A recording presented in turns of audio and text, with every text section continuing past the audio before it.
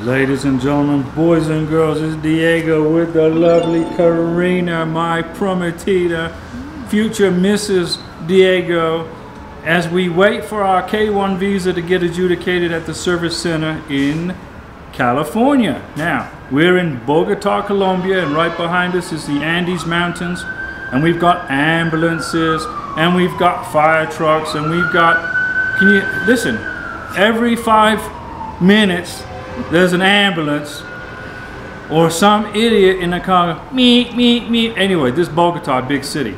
Now, this video is very important. Now, in the past, we've made videos about the USCIS Form I-134 Affidavit of Support. Well, the Affidavit of Support name no longer Oh, is no. around, is gone. Poof, poof.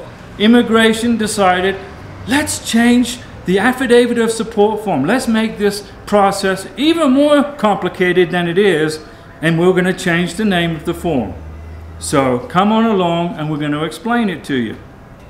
Okay, when you file your K1 visa package to the uh, lockbox in Dallas, it goes to a service center, and you, you, know, you have to do a financial my prometida, my prometida, your future beneficiary is not going to become a public charge. So you're going to have to fill out a form, USCIS form I-134. We've made videos in the past about this. You don't have to include it in your K-1 visa package, but you will have to bring it to your embassy interview, Miss Beneficiary, and you will have to bring the USCIS form I-134. You probably, you, it depends, but you're going to have to show it at some point in the visa process. Now, in the past, it was called an affidavit of support, okay? And that name no longer exists. It's gone away. Okay, it is now called right here Declaration. I don't want to cut in front of Karina. Declaration of Financial Support. So affidavit of support is gone. It is now a declaration of financial support. But the name of the form is still USCIS Form I-134. Now, USCIS form, the old form, was 11 pages long and I made this long laborious video about the form being 11 pages long but now that form doesn't exist. The new form is 13 pages long, okay, with a different format. Now this form is used to change your beneficiary's non-immigrant status because a K1 visa is technically a non-immigrant visa. It's going to make sure he or she will not become a public charge, okay? It's, it's a financial document. Basically, it's a contract between you, Mr. Sponsor, and the U.S. government. The first contract. The second contract you sign when, you're, uh, when you get married and you adjust the status, but that's another video. Now, this video is updating our last video on USCIS Form I-134. Every time I make a video, a few months pass, and then USCIS changes the process. Okay? Now, immigration is a fluid government organization which means it changes processes. And then when, when a form changes, we'll make a video and we keep you up to date on it. And here you go. So first of all, let me say to you, relax. This form's not difficult, all right? It's just different. You know, it's like you're in your comfort zone. You got used to a particular uh, process, and now boom, it's changed. Relax. It's an easy form to fill out, okay? And you process it on your computer or you can fill it out in black ink. Um, go to uscis.gov, go to forms, look for uh, I-134, and you won't see affidavit of support anymore. Now it is a different name, and uh, we're going to give you the answers to how to do this, okay? Now on page one of this new form, at the top of the form, you Mr. Sponsor Mrs. Sponsor, you are going to be filling out this form on behalf of your beneficiary, okay? So you will check the second box, check the picture, you will check the second box in question one, which says, you are Mr. Sponsor, another individual who is the, basically the beneficiary. You're filling this form out for your beneficiary, okay? Now, next you're going to fill out lots and lots and lots of questions about your beneficiary, his or her name, his or her date of birth, her place of birth, passport information, where did she get her passport from, what country is it from. Um, it's financial questions also. Take your time when you fill out this form. Take your time. Okay, so you're the sponsor, Mr. Sponsor, Mrs. Sponsor. You will sign this form, okay, on page 10, part 5. Remember, it's 13 pages long, so on page 10, section 5, you, Mr. Sponsor, Mrs. Sponsor, you're going to sign your full name. You're not going to sign initials. It's not going to be uh, an abbreviation. It's not. It's going to be your full name, first name, middle name, last name, full name. Sign it. Okay. The beneficiary does not sign the form. So don't. A lot of people are having a heart attack. Oh no, the beneficiary's got to sign this form. Does she have to? Can I sign for her? Can I? Do I have to fly to to to Ecuador with this form? So no, no, no. If you check the second box on page one at the top of the page, Mr. Sponsor, then you sign the form, Mr. Sponsor, Mr. Sponsor. Your beneficiary doesn't have to sign it now. Now, let's say you're, let's supposing uh, your beneficiary is going is filling out the form for a B2 visa, a, tour, a tourist visa. She wants to come visit with you while you're waiting for the K1. And it's possible to do it. I don't recommend it, but it's possible. Then she will be the beneficiary who signs the first block on page one, and she will be the person that signs the beneficiary part. Okay?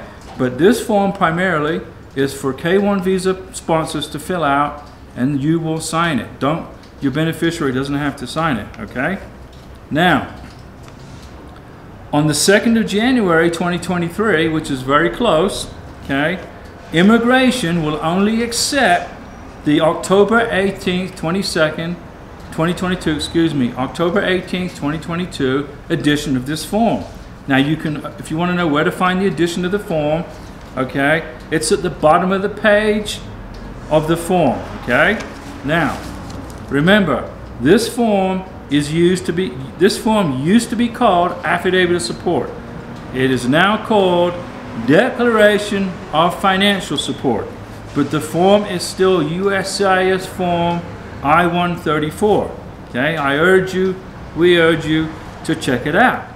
Our recommendation, ladies and gentlemen, boys and girls, is you go to uscis.gov, go to forms, go to their website, go to forms, go to look for I-134, download the instructions, download the form, it's a new format, and study the form before you start putting ink to paper, okay? Study the 13 pages and read the instructions carefully, okay? Now, you must also file a separate, a separate I-134 for your beneficiaries' children, okay? So if you're sponsoring your, your future wife or husband and he or she has a child or, ch or two children, three children, let's suppose you're, you're, you're sponsoring four people, you're going to have to fill out four forms, four separate I-134s, okay? And you're going to have to sign each, each form and fill them out exactly, okay? Now, you and uh, also you got to prove that these children are actually belong to your beneficiary. You got to have passports, birth certificates, and all that kind of jazz. Okay, very simple. And like I mentioned, you got to sign the form, Mr. Sponsor, with your full name, first name, middle name, last name, total, the whole thing. Sign it. Okay. If you don't, immigration will reject the form and send it back, and then you're gonna have to wait another month or three to continue the process. Okay. You don't have to get this form notarized either, okay? You don't need a witness to your signature. When you sign your full name, this is a legal government document, okay? And you're signing this form under the penalty of perjury. Now, if you don't want to go to jail and get fined a ton of money, when you sign this form, make sure you're telling them everything's correct. So remember, ladies and gentlemen, boys and girls, this form used to be called Affidavit of Support and on April 25th, now we I got my NOA one letter for, as April 18th, so I used the old form when I when I included it in the K1 visa package. So that means I've got to redo everything. I got to redo the I-134 form under the new form for the embassy, and that's okay. It's just more paperwork, but no worries. It's no problem. Okay.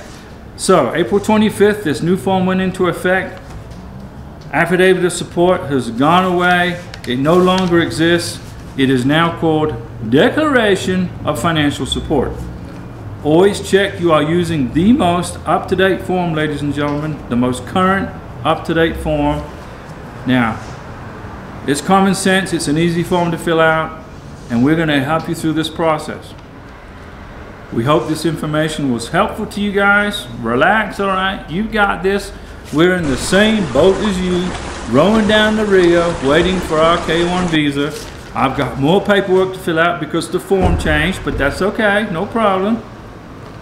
Go to uscisforms.gov, uscis.gov, look for forms, download the new form I-134, download the instructions, study the form, study it before you put ink to paper, okay?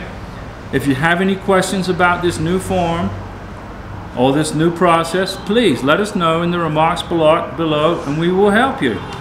And sorry about that, folks. I had to cut away from the video. That was ambulance number five. I mean, people must be getting hit or sit. I don't know. In Bogota, Colombia, there's like an ambulance every five minutes. You know, is that a bad thing or a good thing? I don't know. But the traffic's so bad, I don't even know why they put their sirens on because they can't get through the traffic anyway. They're just sitting there in traffic.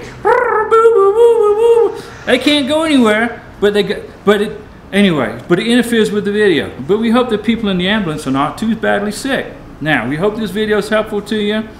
And uh, in the remarks block below, please put down any questions that you may have. This visa process is easy. I'm familiar with it. We're getting close to Christmas, okay? Papa Noel, Santa Claus is going to come visit you and your children with lots of presents. And uh, if you're separated from your loved ones during Christmas, get on the phone, do the Facebook, do the FaceTime, yama dama do, in the WhatsApp, chat, chat, chat, okay? The time is passing. It's almost Christmas 2022, ladies and gentlemen. And what does that mean? It's almost 2023. What does that mean? In 2023, you are probably going to get your visa for your K1. And what does that mean? You're going to be getting on a plane with your beneficiary, flying her to the United States, so you can get married. You can have. Do you hear that? That's another ambulance. That's like six ambulances in the last 20 minutes. Anyway, we will see you in Colombia. Colombia and hang in there.